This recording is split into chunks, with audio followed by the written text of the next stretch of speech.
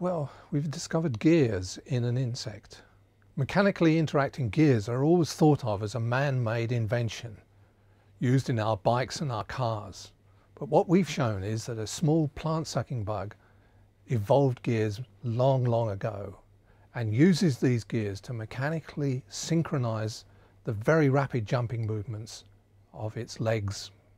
This is the first demonstration of interacting gears being used by any animal.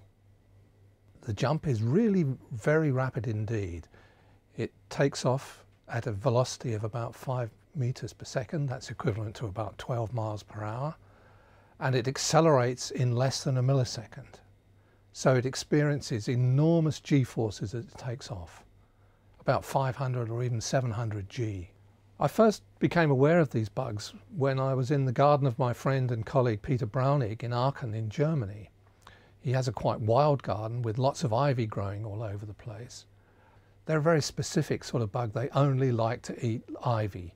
And so I spent a huge amount of time trying to look on all the ivy bushes in Cambridge for these bugs and couldn't find them. Then my five-year-old grandson, Max, came to the rescue he found these bugs in his garden. And he rushed up to me one day and said, Grandad, I found these plant hoppers in my garden. Here they are. And so we brought them back to the lab here in Cambridge. And that's when I did the experiment of showing that the cogwheels were actually engaging with each other.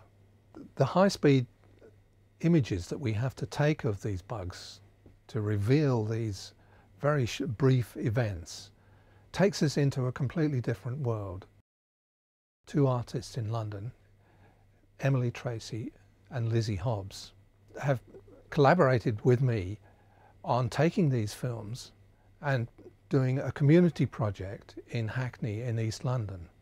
So we've been interacting with a class of nine-year-old children from Gayhurst Primary School in Hackney and with two groups of senior citizens called Ray's Geezers and the Sharp End and that interaction has led to animating films of the creatures moving in the water. The children have been doing the animations, drawing the animals, painting them, and the artists have been assembling a film based on those pictures and on my pictures.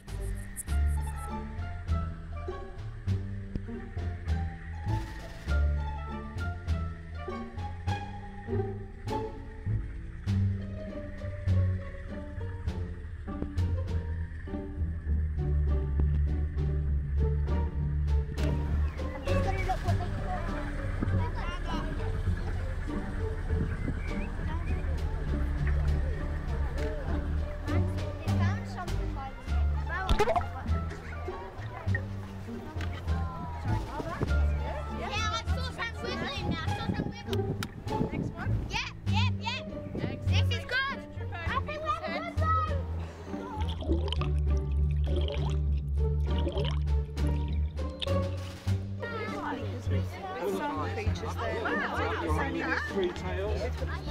He shows up really well. I think I'm thinking we should move